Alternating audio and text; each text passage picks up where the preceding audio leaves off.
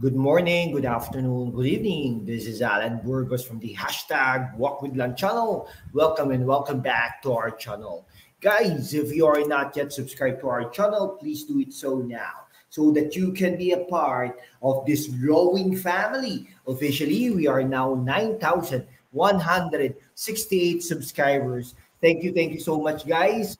God bless you all. Malapit na po tayo sa 10,000 subscribers milestone. Sana po kasama ko po kayo pagdating po ng 10,000 subscribers milestones. Maraming salamat po sa inyong lahat. Mahal na mahal po po kayo.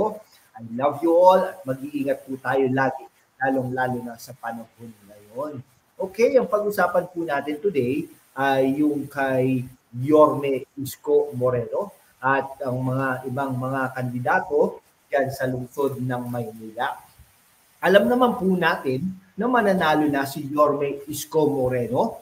Clinic-claim na natin at dinideclare na natin na mananalo ito si Yorme Isko Moreno laban sa kanyang mga katunggali na si um, Mayora Hani Lacuna, Sam Bersosa at iba ba.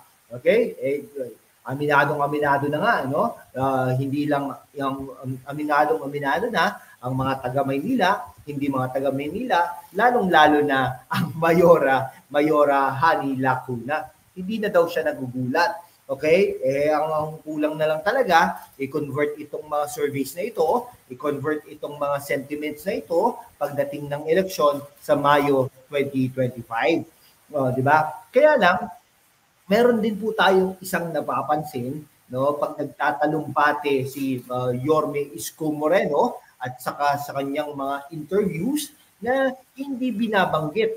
Ang binabanggit lang niya usually na kalaban niya ay si Mayora Hani Lacuna. Naturalmente ay siya naman ay uh, um, incumbent o nandyan. Nakaupo po siya bilang Mayora ng lungsod ng Maynila. Pero ang hindi niya po binabanggit ay si Sam Bersosa, si Congressman Sam Bersosa na boyfriend ni Rian Ramos at ito ay incumbent congressman ng Tutok Twin. Okay, siguro nanalo ito at may-ari ito ng front row. Ha? Eh, nanalo, uh, nanalo siguro ito dahil mayaman niya. Aside from that, parang ginamit niya si uh, Willie Revillame, Tutok Twin. No? Uh, yan, no? may mga na hindi nababanggit ni Isko Moreno, ni Yorme Isko Moreno, ang susunod na mayor ng Maynila, ang pangalan ni Congressman Sam Bersosa bilang isa sa mga katunggali niya sa pagka-alkalde ng Maynila. Bakit nga ba? No? Eh, um, balikan niyo po uh, ng ating programa ng mga nakaraang panahon, uh, mga nakaraang araw na sinabi natin na matatalo na si Sam Bersosa kay Yorme Isko Moreno. Eh, swerte nga talaga, minsan pa nababanggit si Sam Bersosa, Congressman Sam Bersosa dito sa ating programa at sa ibang mga programa. Ah, at saka nagkakaroon din ng news update or news write-up kay Sam Bersosa. Pero kung tutusin, hindi na nga dapat. Alam niyo po ba bakit? Dahil kung si ano po, Mayora Hanin Lacuna, incumbent, no? Uh, naging vice mayor, uh, anak ng dating vice mayor, no? Yung yumaong Daddy Lacuna, naging konsehal. Uh, naging konsehal ba yan? Ah, talagang matagal na po sila diyan sa Maynila ay talaga nang naghihikahos no sa mga numero. Biruin mo naman, ha? Uh, 8% lang ang makukuha ni Yor uh, ni Mayora Hani Lacuna versus kay Yorme Isko Moreno, no? Eh malamang sa malamang si Sam Bersosa ay baka um, at least 4% to 1%, no? Unless otherwise, trabahuin niya ng mabuti. Pero sa tingin po natin, hindi na po ganon. Ang numero po talaga ay mag stay na ganyan, no?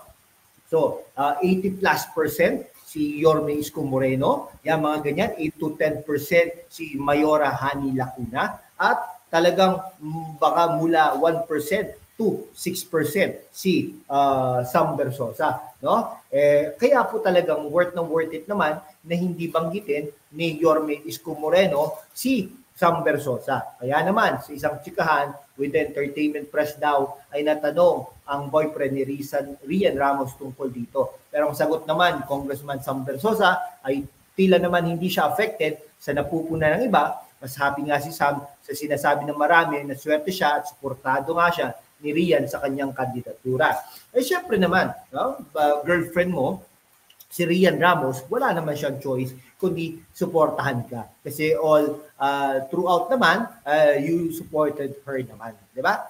Eh, ganun lang po yun. Eh, syempre, hindi mo rin ipapakita na affected ka dahil nga naman ito ay may nagi, may negatibong um, may negatibong ano to no? Um, factor para sa mga sa mga lungsod mga taga lungsod ng Maynila no?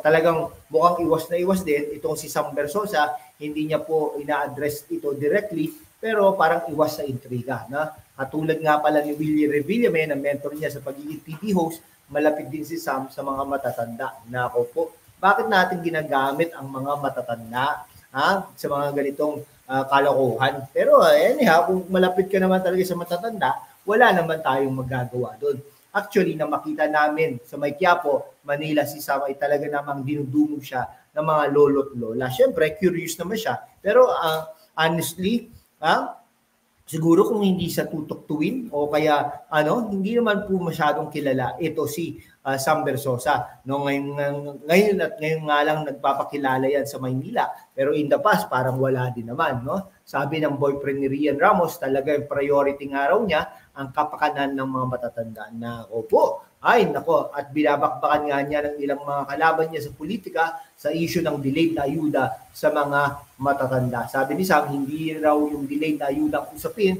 kundi yung kulang na ayuda. Sa ibang lugar kasi sa Manila, ay 500 lang ang natatanggap ng mga matatanda, pati mga PWD, pero sa barangay nila sa Sampaloc, ay nakapagbigay na sila doon ng 2,000 sa gamot na kailangan talaga ng mga matatanda. Ayun lang. Pero dapat, di ba, eh, lahatin muna. Kung gusto mong tumulong, lahatin mo na at mo nang i-ano, no? Lahatin mo na. Wala nang problema doon, no? Bawat, uh, bawat lugar sa Maynila, merong private donation galing sa iyo para mo nang para namang sabihin mo na ay mga mula nung uh, nakaraang taon no ang tutok tuwin ay talaga namang um, nagbibigay ng mga ayuda para sa mga matatanda no for the last three years as a private donation coming from Congressman Sam Bersosa. At hindi mo na kailangan i-advertisement yun. No? Sabihin mo lang, o itanong nyo sa mga matatanda ng lungsod ng Maynila kung ano ang binibigay private donations ng ating um, eh, di ba, public pa pala kung tutuktuin eh, no? Ang public and private donations coming from Tutuktuin and Congressman Sam Versosa, no, the boyfriend of Rian Ramos. Okay, sige po. Hanggang dito na lang po mga kaibigan ko. Maraming maraming salamat po sa inyong lahat. Mabuhay po kayo. Pasig. Ha? Okay? Uh, alam niyo na. Alam niyo na po ha. Pasig. Okay? Uh, meron din po tayong t-shirt ng Maynila. Ibig pong sabihin yan ay nakakapag-ikot tayo dyan sa Pasig. Alam na alam po natin ang history dyan. Alam na alam po natin ang sitwasyon. At dyan sa Maynila, alam na alam po natin ang sitwasyon. Alam na alam po natin ang history dyan. Okay, sige po. At sa Caloocan din, no? Hanggang dito na lang po mga kaibigan ko. Maraming maraming salamat po sa inyong lahat. Mabuhay po kayo.